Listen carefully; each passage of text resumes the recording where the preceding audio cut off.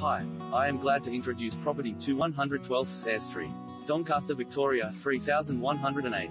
Single level with space to enjoy. As the future owner of this brick and tile single level unit you will definitely enjoy what is on offer here. Set on a 313 square meters approx block with its own street frontage. It has a good sized front garden, with a double garage that has access to the backyard, plus an internal entry from garage to house. The front entrance is tiled and leads you through to a comfortable front sitting room.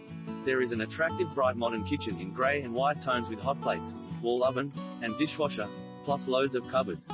A large separate laundry leads to the back garden.